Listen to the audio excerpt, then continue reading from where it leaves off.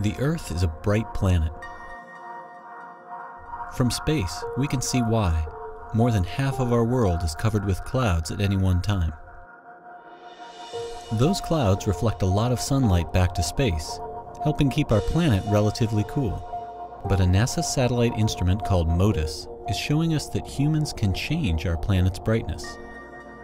The pollution we put into the atmosphere actually alters clouds, the best way to see this is to look for signs of pollution in areas that have otherwise clean air, like the North Pacific near the Aleutian Islands.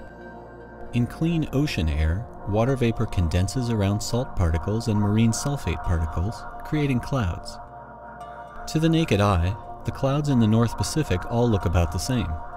But MODIS's sensor reveals a different story. Long, skinny trails of brighter clouds hidden within as ships travel across the ocean, sulfate particles in their exhaust create more cloud drops that are smaller in size, resulting in even brighter clouds. And on clear days, ships can actually create new clouds. Water vapor condenses around particles of pollution, forming streamers of clouds as the ships travel on. Could air pollution actually curb global warming by making our planet brighter and more reflective? Scientists are studying the phenomenon, but they say it's not likely to significantly slow global warming.